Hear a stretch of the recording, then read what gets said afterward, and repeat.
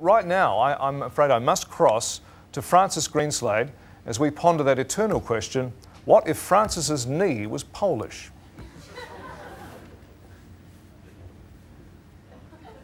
Jak się dobry, to się dobry, sweet Georgie Brown. On ja skazam pana baciam, sweet Georgie Brown. Będzie biło serce moje, będzie pracę na zdrowie. Georgie B Georgie B. klasny Georgie Brown, yeah!